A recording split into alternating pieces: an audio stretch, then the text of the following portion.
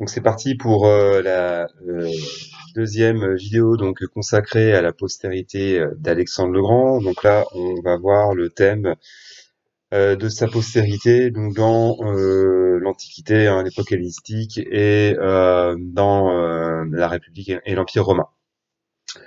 D'abord, on a vu qu'en Égypte ptolémaïque hein, ou l'Égypte lagide, Alexandre bénéficie d'une grande postérité. Donc pour légitimer leur dynastie, les Ptolémées inventent Alexandre euh, égyptien, hein, le caractère divin, par une assimilation euh, à des dieux, à des héros, hein, euh, comme Héraclès principalement.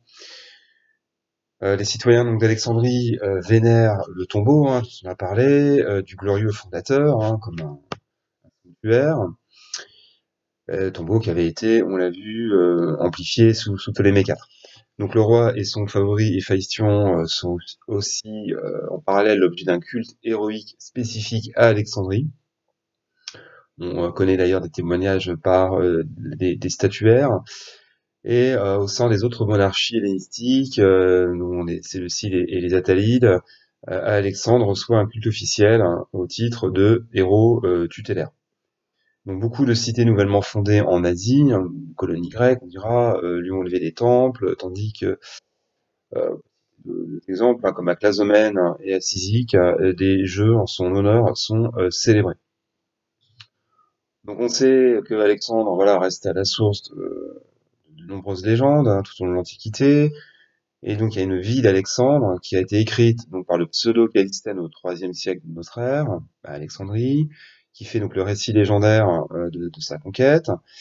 Et euh, l'auteur d'ailleurs raconte qu'Alexandre n'est pas le fils de Philippe, mais celui du dernier pharaon d'Égypte de la 30e dynastie, donc Nectanebo II, qui se réfugié à, Pella ben, pour fuir la répression euh, des, des Achéménides. Donc de cette version du pseudo-Calistène dérivent la plupart des légendes, des vies, des romans, des histoires, des exploits d'Alexandre hein, qui se multiplient à partir du 5e siècle l'ensemble de ces récits, on va dire, de cette tradition, qui a été repris et enjolivé hein, dans des euh, versions euh, postérieures, et l'une donnera le fameux roman d'Alexandre, composé donc en France au XIIe euh, siècle hein, par Alexandre, Alexandre de, de Bernay, Alexandre le, bien nommé. Et donc, c'est de cette œuvre, hein, le terme d'Alexandre, hein, été forgé au XVe siècle vous voyez la tradition ancienne hein, du, roman d'Alexandre, dont on parlera bien sûr pour l'époque médiévale. Alors voyons maintenant la figure d'Alexandre euh, chez les Romains. Donc, imagine bien la figure de, modèle absolu hein, pour les, généraux et les empereurs avides de, gloire, hein, ou même pour les, lettrés. Et donc à la fin du IIIe siècle avant Jésus-Christ, au, moment où les Romains entrent en contact, ou pas dire en friction avec le monde hellénistique, euh, il y a un auteur, donc hein, qui est le plus ancien auteur romain à mentionner Alexandre, hein, qui fait de lui une figure héroïque hein, dans une comédie. On sait aussi qu'un dénommé Métellus, donc on est en 146 avant Jésus-Christ, euh, rapporte donc de Macédoine un groupe du sculpteur Lysippe, euh, contemporain d'Alexandre, qui représente Alexandre au euh, granique. Et donc au début du 1er siècle avant Jésus-Christ, dans la province de Macédoine. Hein, il y a aussi des pièces de monnaie, donc ils sont frappés à son effigie. Hein. donc à l'époque, c'est bien sûr une province euh, romaine. Donc dans les derniers temps de la République euh, romaine, dans le premier siècle avant Jésus-Christ, euh, la figure d'Alexandre devient de plus en plus prestigieuse, hein, car à cette époque, la culture hellénique connaît un véritable engouement. donc on connaît évidemment la figure de Pompée, Pompée le Grand, qui a notamment triomphé contre euh, Mithridate VI du Pont, hein, qui va prendre le titre, donc Magnus, hein, on imagine bien la référence. Et euh, il porte d'ailleurs la chlamyde hein, d'Alexandre, euh, trouvé dans les, bagages euh, du roi du Pont, selon la légende. Le roi du Pont avait des, reliques d'Alexandre. Donc un autre général mieux inconnu, très puissant, c'est Crassus, hein, donc il cherche à imiter Alexandre en marchant en Orient contre les Parthes, dont il trouvera la mort les Parthes.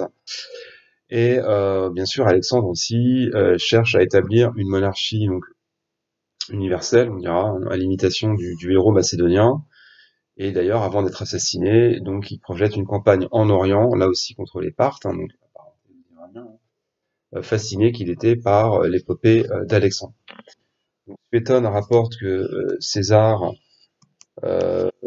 voyant un, portrait d'Alexandre dans un temple, hein, se, désespère, car à, l'âge où Alexandre a soumis le monde, euh, ben, il n'a encore rien fait de, mémorable. Donc ça, c'est un épisode assez connu. Marc-Antoine aussi, donc il va s'installer évidemment à Alexandrie, euh, qui va nouer relation avec Cléopâtre a pour ambition d'établir euh, aussi une monarchie universelle en Orient et va imiter Alexandre. Et euh, d'ailleurs, il va nommer le fils qu'il a eu avec Cléopâtre, euh, Alexandre Hélios. Hein, il s'habille aussi à la manière macédonienne. Euh, et d'ailleurs, il va euh, célébrer donc à, par contre, un, un, un, triomphe à Athènes hein, où il apparaît en Bacchus, en imitant Alexandre, qui était vu comme l'émule de, de Dionysos. Il y a aussi le géographe Strabon, donc très connu, qui voit en Alexandre un, un découvreur, un, euh, voilà, un explorateur, et euh, il va ignorer d'ailleurs les événements euh, troubles, on va dire, comme la mort de Calistène, hein, ou la, traversée du, désert de, de Gédrosie, simple exemple. Enfin voilà, Strabon, on, le sait, a sillonné notamment Alexandrie, enfin tout l'Orient, et va voilà donner un portrait très favorable d'Alexandre. Donc passons maintenant à l'époque impériale. Donc là, euh, mon fondateur et mon empire, c'est Octave Auguste, hein, qui admire le conquérant, mais il cherche pas à, l'imiter. Hein. Alors, on en a parlé déjà, il va déposer une couronne d'or euh, sur le tombeau d'Alexandre, et pendant longtemps, il va utiliser un sceau euh, à l'effigie donc d'Alexandre. il introduit dans le forum de Rome des portraits réalisés par Appel. On pense d'ailleurs que c'est de ses peintures qui a inspiré la célèbre mosaïque de Pompéi. Euh, il y a Néron aussi qui admire de manière euh, assez fanatique Alexandre, au point d'ailleurs de faire dorer une statue euh, de Lysique hein, qui avait été ramenée précédemment. il va même élever une légion gratifiée du nom de Phalange Alexandre. Voilà. donc sous les Antonins, notre dynastie, donc après les euh, voilà, la figure d'Alexandre connaît un, un, fort engouement, et c'est donc à cette époque-là qu'il y a deux auteurs de langue grecque bien connus, Plutarque et Arien, qui remettent à l'honneur euh, l'épopée d'Alexandre. Et sans eux, voilà, on saurait, euh, il y a beaucoup de choses qu'on ne saurait pas sur Alexandre. Donc a Trajan aussi, euh, pour qui c'est un modèle, voilà, parce qu'il a su instaurer la, concorde entre les peuples, qu'il a le sens de, l'universel. Et Trajan, là aussi, voilà, cherche à imiter les campagnes d'Asie en, en, luttant contre les Parthes. Et parvenu à Babylone, donc il offre un sacrifice en son honneur. Donc il y a Commode aussi qui va frapper des monnaies à son effigie, euh, l'effigie d'Alexandre. Caracalla aussi euh, qui espère lui être une réincarnation d'Alexandre. Il va former lui aussi une phalange armée à la macédonienne. Et d'ailleurs, à travers son fameux édit, hein, 212, édit Caracalla, qu'on appelle aussi la Constitution Antonine, hein, qui donne la citoyenneté à, tous les hommes libres de l'Empire, hein, les pèlerins, euh, il entend donc imiter Alexandre, qui a su unir occidentaux et orientaux, hein, bien sûr. L'empereur Sévère Alexandre aussi, qui est né en Phénicie, dans un temple dédié à Alexandre d'ailleurs, donc son nom, le jour anniversaire de sa mort, hein, euh, il va abandonner donc son nom qui était Alexianus, hein, en hommage à Alexandre, pour euh, prendre le nom de Sévère Alexandre. Et donc dans ce contexte de dévotion au conquérant, on pourrait dire, euh, de nostalgie, voilà, commence à se diffuser au 5 au 4e siècle. La vie et les hauts faits d'Alexandre de Macédoine, qu'on va communément appeler ensuite le roman d'Alexandre, euh, issu du, pseudo Calistène.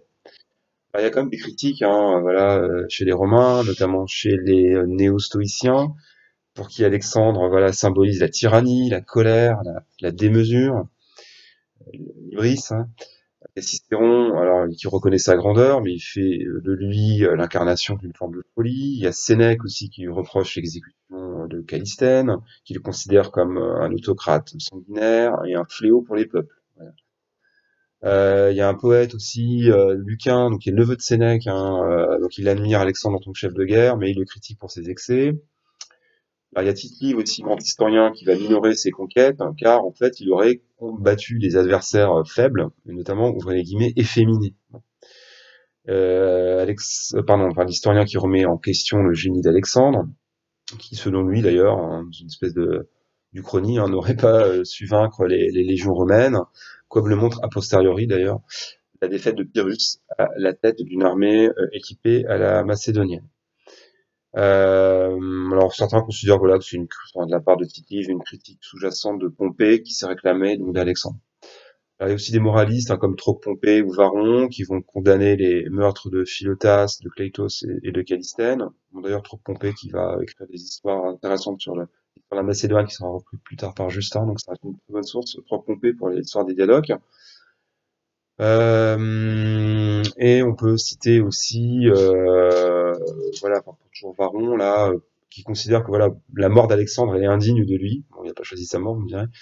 Euh, et reprennent à leur compte en fait une citation de, César qui dit un impérator doit mourir debout. Euh, alors dernier en date, voilà, c'est Augustin, un philosophe, hein, qui dans la Cité de Dieu utilise un moment la figure d'Alexandre pour montrer que sans justice, euh, les royaumes ne sont qu'une grande troupe de brigands. Donc là aussi, c'est un passage très connu euh, d'Augustin.